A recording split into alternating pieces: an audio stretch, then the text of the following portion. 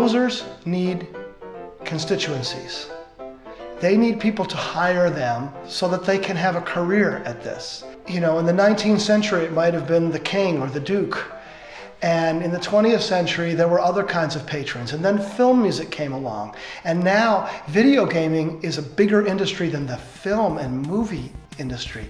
And so, this is a tremendous opportunity for great composers to be employed and to, and to have uh, an outlet for their music. So I think some of the best music of the 20th century came out of the film industry, and I think some of the best music of the 21st century is likely to come out of the video gaming industry.